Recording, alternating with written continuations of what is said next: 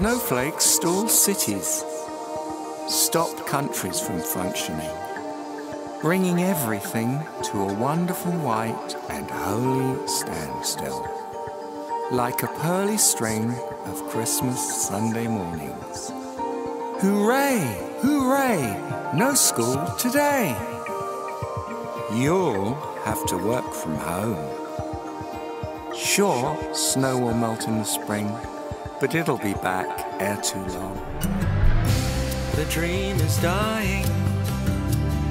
It's time to let it go. It'll only cause us too much pain to pursue it anymore. I dreamed I was a buccaneer sailing on the seven seas, trading spices and sovereigns in a life wild and carefree. Brexit is a mess of trouble. Brexit is a sack of woe. Brexit is a whole heap of party. The whole world ought to know. If Brexit was a glass of milk, it would always taste